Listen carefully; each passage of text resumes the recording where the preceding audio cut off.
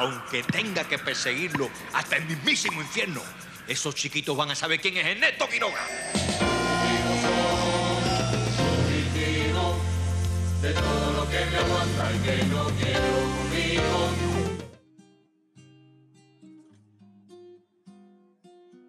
Todos recordamos la historia de Tony Felito huyendo de Quiroga. Los pequeños fugitivos eran de esas aventuras que plantaban frente al televisor a toda la juventud cubana.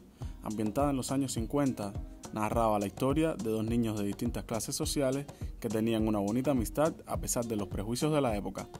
Todo empieza cuando Tony Felito ven a Quiroga asesinar a un anciano vendedor de billetes de lotería. Quiroga contrata a Bandurria, tonto pero muy útil, y ambos persiguen a los niños para eliminarlos por ser los únicos testigos. La persecución empieza en Pinar del Río y termina en Oriente. En ese recorrido, los niños hacen muchos amigos, incluyendo a Malvino, que se les une en su aventura. Así lucen los personajes de los pequeños fugitivos 20 años después.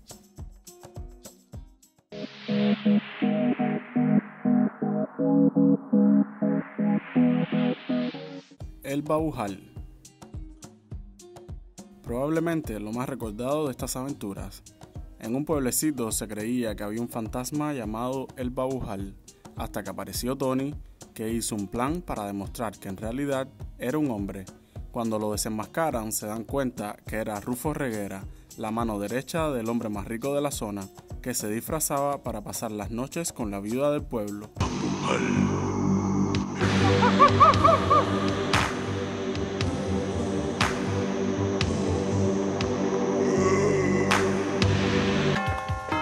Ahí tienen a.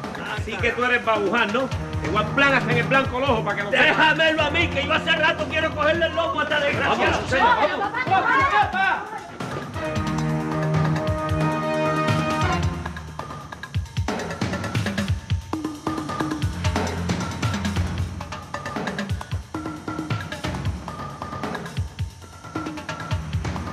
Mira, Felito. Esta era la luz verde que veíamos cuando salía el Baujal. Y esta, la máscara que se ponía para verse con la viuda. Este personaje fue interpretado por el actor Jorge López, reconocido actor de televisión, teatro y radio, que es recordado por sus personajes en las novelas Las huérfanas de Laura Pía y Doble Juego, y en las aventuras La Atenea está en San Miguel. Así luce Jorge López a sus 63 años. El personaje de Bandurria fue interpretado por Quique Quiñones. Ven acá, tú, indigente. ¿Qué? ¿Tú no has visto, tú, tú no has visto a, a un chamaquito así li- limpiando zapatos por ahí? Con estos indigentes no se puede hacer una investigación. Tú. Ha tenido una carrera artística impresionante en Cuba. Ha trabajado en aventuras, novelas y programas de televisión. En el cine ha tenido papeles en películas como El Benny y la película protagonizada por Rihanna, Guava Island. Además, ha hecho mucho teatro y actualmente es el director del Centro Promotor del Humor. Así luce Quique Quiñones a día de hoy.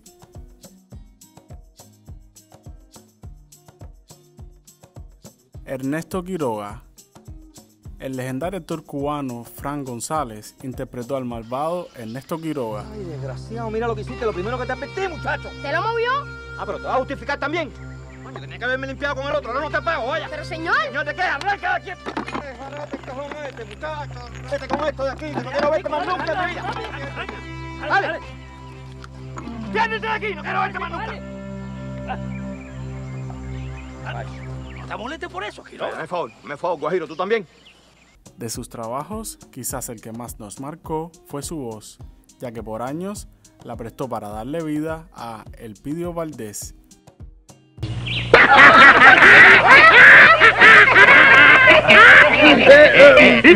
Siete numeritos se riega entre la tropa.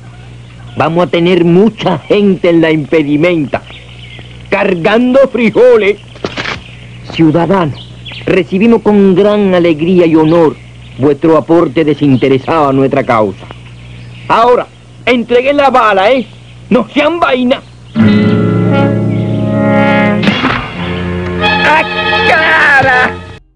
Participó en innumerables películas, series de televisión y haciendo doblajes como el de Vampiros en La Habana. También ha cosechado una extensa lista de premios, incluyendo el Premio Nacional de Televisión en 2019. A sus 74 años, así luce Fran González.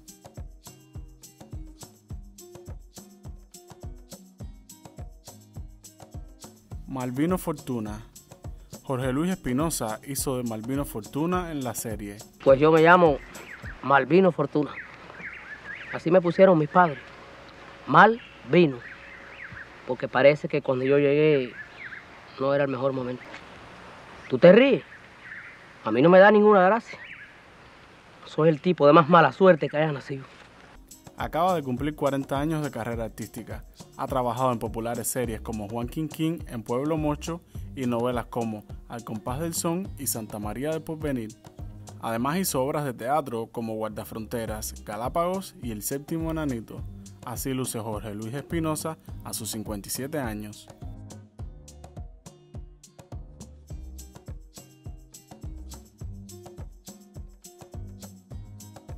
Felito. Henry Betancourt interpretó a Felito cuando era solo un niño. Oye, cuidado, ¿qué tú vas a hacer? Acércate, acércate tú verás. Fíjate bien lo que te voy a decir. Tú lo que eres un entrometido, porque el que limpia aquí soy yo. ¿Quién te dijo eso? Yo siempre vengo a limpiar por aquí. Si te vuelvo a ver por aquí, te voy a dar una sacudida que te va a tumbar del churro que tienes arriba, ¿sabes? Mira, más churri tendrás tú. No pienses que con mango bajito. Yo me sé defender y no te voy a coger miedo. Mira, muchacho, coge por ahí, te anda. Dale, dale. Descarado. Al parecer, Henry no continuó con su carrera de actuación. Solo les puedo decir que luce así hoy en día. Tony. Ernesto del Cañal le dio vida a Tony. No, no. Eso no puede ser así. No puede ser con tanta gritería ni con tanto alboroto.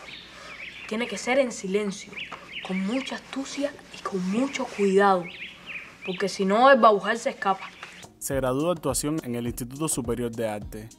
Vive en México desde 2016 y ha participado en obras de teatro como Spoon River, Azul Naranja y Bent, con el director británico Stephen Bailey, y en películas como La Partida, Unicy, Cuatro Puertas y Cuatro Estaciones en La Habana.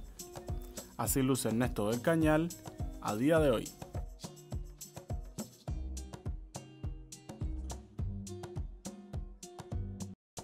hasta aquí el video. Si no lo has hecho, suscríbete para que apoyes el canal.